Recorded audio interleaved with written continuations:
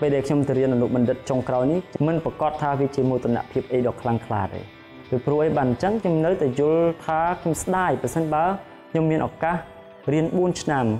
ផ្នែកស្អីក៏ដោយ4ឆ្នាំនៅក្នុងសញ្ញាបញ្ញាបត្រហ្នឹងល្អមែនទែនពីព្រោះ4ឆ្នាំវាដូចជាវិន័យវាដូចជាពេលវេលាមួយដើម្បីធ្វើឲ្យយើងនឹងប្រសងខ្លួនឯងហ្នឹងទៅកាន់ការងារដែលអាចសេការងារធំបាន លោកយានរស្មីជាអ្នកជំនាញរៀបចំការតាំងពិព័រណ៍ស្នាដៃសិល្បៈមួយរូបឬអាចហៅឈ្មោះម្យ៉ាងទៀតថាជាកតិនុរៈសិល្បៈសហសម័យដើរតួជាអ្នកបរិយាយអំពីសិល្បៈសូនរូបគំនូទស្សនីយភាពសៀកការសម្ដែងនានាឬក៏ភាពយន្តជាដើម ហើយបច្ចុប្បន្នក៏ជាអ្នកស្រាវជ្រាវមួយរូបពីប្រវត្តិសិល្បៈនៅតំបន់អាស៊ីអាគ្នេយ៍ កទានុរៈវ័យ28ឆ្នាំមានទីកំណើតនៅខេត្តបាត់ដំបងរូបនេះធ្លាប់ទទួលបានអាហារូបករណ៍សិក្សាសញ្ញាបត្រក្រោយថ្នាក់បរិញ្ញាបត្រផ្នែកសិល្បៈអាស៊ីនៅសាលាសិក្សាតំបន់បូព៌ានិងតំបន់អាហ្វ្រិកនៅចក្រភពអង់គ្លេសសិក្សាសញ្ញាបត្រជាន់ខ្ពស់ផ្នែកពុទ្ធសាសនា ភាសា និងវប្បធម៌ថៃនៅសាកលវិទ្យាល័យឈៀងម៉ៃប្រទេសថៃនិងបានសិក្សាជំនាញប្រវត្តិសិល្បៈអាស៊ីអាគ្នេយ៍នៅប្រទេសសិង្ហបុរីដែលទើបតែបញ្ចប់ក្នុងពេលថ្មីៗនេះ ជារួមលោកយិនរស្មីបានបញ្ចប់ការសិក្សាសញ្ញាបត្រក្រោយថ្នាក់បរិញ្ញាបត្រឬសញ្ញាបត្រជាន់ខ្ពស់ចំនួន3ដែលជោគជ័យខណៈរូបលោកមិនមានសញ្ញាបត្រថ្នាក់បរិញ្ញាបត្រមួយទាល់តែសោះអាហារូបករណ៍ខ្ញុំទទួលបានទាំងអស់អត់នៅក្រមមហារូបករណ៍ដែលចេញពីស្ថានទូតមួយចំនួនដូចស្ថានទូតនៃប្រទេសអូស្ត្រាលីស្ថានទូតចក្រភពអង់គ្លេសឬក៏ស្ថានទូតអាមេរិកទេឬក៏ Erasmus ផងយុរ៉ុបសហភាពអឺរ៉ុបទេជាអាហារូបករណ៍ផ្ទាល់ដែលផ្ដល់ពីសាលាអញ្ចឹងណាអឺ ខ្ញុំអត់មានបញ្ញាបត្រដោយសារតែទី1ខ្ញុំអត់បានទៅបន្តការសិក្សាក្នុងក្នុងស្រុកខ្មែរយើងអឺផ្នែកអីណាមួយអត់បានសិក្សាទេដោយសារតែខ្ញុំចាប់អារម្មណ៍រៀនប្រវត្តិសាស្ត្រសិល្បៈតាំងពីអាយុ15ឆ្នាំអញ្ចឹងខ្ញុំច្បាស់ក្នុងចិត្តខ្លួនឯងខ្លួនឯងចង់ទៅរៀនប្រវត្តិសាស្ត្រសិល្បៈដោយឡែករោនៅក្នុងស្រុកខ្មែរអត់មានមានតែបុរាណវិទ្យាបុរាណវិទ្យានៅក្នុងសាកលវិទ្យាល័យភូមិន្ទវិចិត្រសិល្បៈក៏ប៉ុន្តែបុរាណវិទ្យានិងប្រវត្តិសាស្ត្រសិល្បៈយើងអាចចាត់ទុកថាជាប្រភព ដូចម្ដាយនិងកូនចេញពីមេធាងទៅមួយក៏ប៉ុន្តែវាជាយើងអាចនិយាយថាវាជារបៀបនៅក្នុងការសិក្សាខុសគ្នាអញ្ចឹងខ្ញុំច្បាស់ខ្លួនឯងចង់រៀនហ្នឹងអឺខ្ញុំបានអានសភៅច្រើនអានច្រើនតាំងពីអាយុ15ឆ្នាំរហូតមកដល់ឥឡូវខ្ញុំអានសភៅច្រើនមែនទែនដែលសភៅនឹងហើយគឺជាកលឹះមួយឲ្យខ្ញុំយល់អំពីថាស្អីទៅជាប្រវត្តិសាស្ត្រសិល្បៈទី1ទី2ខ្ញុំមានបទពិសោធន៍ធ្វើការងារតាំងពីឆ្នាំ2008រហូតដល់ឆ្នាំ2014វាច្រើនឆ្នាំដែរ អញ្ចឹងដែលទាំងអស់នេះឯងបានប្រើប្រាស់គឺជាមធ្យោបាយឬក៏ជាឯកសារដើម្បីជំនួសទៅលើបញ្ញាបត្រនៅពេលដែលខ្ញុំដាក់ពាក្យទៅសុំនៅក្នុងសាលានៅសាកលវិទ្យាល័យនៃប្រទេសអង់គ្លេសទន្ទឹមនឹងការសិក្សាជោគជ័យជាច្រើនជាបន្តបន្ទាប់តើមានបញ្ហាប្រឈមអីខ្លះទៅសូម្បីតែសញ្ញាបត្រយើងហៅថា postgraduate diploma ឬក៏សញ្ញាបត្របញ្ញាបត្រចុងខ្ពស់ហ្នឹង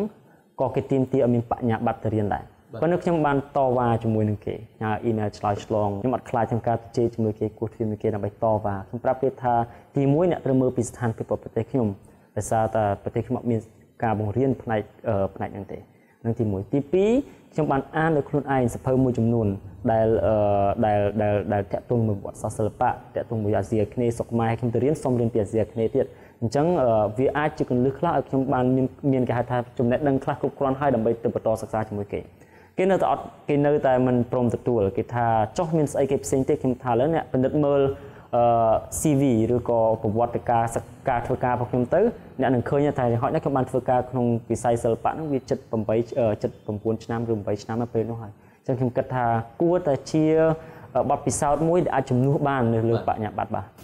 ហើយនេះបានជួយលោកមិនបោះបង់ឱកាសហ្នឹងពេលដែលគេប្រកែកឬគេមិនព្រមឲ្យអត់មែនទេទៅ SOAS ឬក៏សាកលវិទ្យាល័យទីក្រុងឡុងហ្នឹងមិនមែនជាសាកលវិទ្យាល័យទី1ទេដែលបដិសេធព្រោះដូចខ្ញុំជម្រាបនេះខ្ញុំបានដើររហៅរូបករណ៍ច្រើនដែរអញ្ចឹងអឺប៉ុន្តែខ្ញុំមិនដែលបោះបង់ចោលទេដោយសារតែខ្ញុំព្យាយាមជំរុញអឺបើខ្ញុំអាចឆ្លោះជាមួយគេបានខ្ញុំឆ្លោះសិនព្យាយាមតវ៉ាអាចទៅរួចសិនព្រោះ អ្វីដែលគេអាចឆ្លើយមកយើងបានយើងដឹងហើយថា no ឬក៏ yes ព្រមឬក៏មិនព្រមទៅប៉ុណ្ណឹងអញ្ចឹងវាអត់មានអីលើសពីហ្នឹងទេអញ្ចឹងយើងព្យាយាមអស់ពីចិត្តសិនមានអីផ្ដាំផ្ញើទៅកាន់យុវជនយើងធ្វើម៉េចឲ្យគាត់ស្រឡាញ់ជំនាញរបស់ខ្លួនហើយ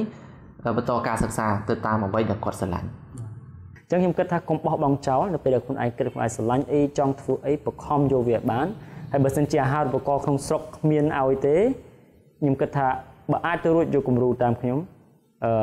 យើងទៅគោះទ្វារតាមសាលាពួកសាលាមួយមួយគឺមានអាហារូបករណ៍របស់គេហើយនៅតាម department មួយមួយគឺមានអាហារូបករណ៍ប្រចាំ department អអញ្ចឹងយើងទៅ email សួរគេយើងយើងសួរគេថាលើខ្ញុំចង់រៀនវិស័យហ្នឹងតែខ្ញុំអត់មានលុយទៅធ្វើម៉េចអញ្ចឹងសាលាបើគេចាប់អារម្មណ៍យើងគេនឹងឲ្យជាយោបល់យើងទៅយើងត្រូវធ្វើម៉េចធ្វើម៉េចកុំខ្លាចក្នុងការសួរហើយកុំខ្លាចនៅពេលគេបដិសេធថាអូនឯងក្មេងពេកឬក៏ឯងអត់មានបញ្ញាបត្រឯងមិនអាចមករៀនបានទេត្រូវតែចេះតវ៉ាត្រូវចេះ លក់ខ្លួនឯងថាខ្លួនឯងសំខាន់មិនសម្រាប់សាលាហ្នឹងឬក៏ខ្លួនឯងសំខាន់មិននៅពេលរៀនចប់ទៅមកដល់ក្នុងស្រុកឬក៏ធ្វើអីសម្រាប់ពិភពលោកអីទៅឧទាហរណ៍អញ្ចឹងទី1កុំបោះបង់ទី2ស្រឡាញ់ច្បាស់ស្រាវជ្រាវដល់ខ្លួនឯងសាលាខ្លួនឯងរៀននៅណាប្រទេសមួយណាដើម្បីឲ្យច្បាស់ហ្នឹងហើយបាទសូមអរគុណបាទអរគុណច្រើនបាទប្រិមត្តទូទាំងជនបានឃើញហើយគាត់អត់មានបញ្ញាបត្រទេប៉ុន្តែអាចនឹងក៏មានឱកាស ទទួលអាហារូបករណ៍ទៅយកបញ្ញាបត្រជាន់ខ្ពស់បាទនៅឯក្រៅប្រទេសបានដែរតាមរយៈអីគេគឺទីមួយប័ណ្ណពិសោធន៍ការងារច្រើនបាទចេះដឹងច្រើនការងារច្រើនទៅវាអាចជំនួសជំនួសបាត់នឹងបានដែរនេះជាអ្វីដែលខ្ញុំលើកឡើងពីដើមហ្នឹងគឺបានបញ្ជាក់ឲ្យថា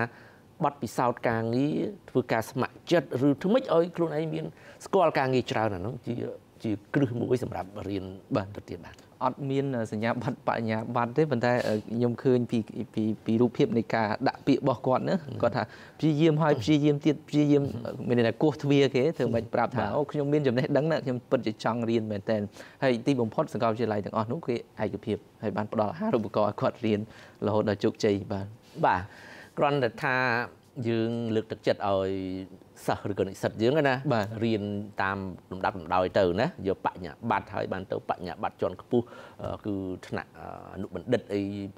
បណ្ឌិតអីតទៀតអញ្ចឹងណាបាទបាទដើម្បីកុំឲ្យវាប្រទាំងប្រទើសក៏ប៉ុន្តែមួយយ៉ាងទៀតដែលយើងចង់រំលឹកហ្នឹងគឺថាបទពិសោធន៍ការងារជាក់ស្ដែងហ្នឹងគឺវាមានតម្លៃ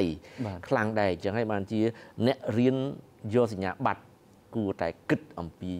បទពិសោធន៍ការងារផងណាឆ្លៀតឱកាស ធ្វើការងារក្រៅម៉ោងធ្វើការងារស្ម័គ្រចិត្តធ្វើម៉េចឲ្យរៀនផង មានបទពិសោធន៍ការងារផងហ្នឹងជោគជ័យទៅថ្ងៃមុខបាទប្រិមត្តទូទនិកជនដោយសារតែយើងអស់ពីលទៅហើយបាទបេសកកម្មប្រចាំសប្តាហ៍ក៏បានឈានដល់ទីបញ្ចប់ខ្ញុំបាទប៉ែនបូណាលោកម៉ៅសំណាងក៏ដូចជាក្រុមការងារសូមអរគុណសូមគោរពលាតែប៉ុណ្ណេះបាទ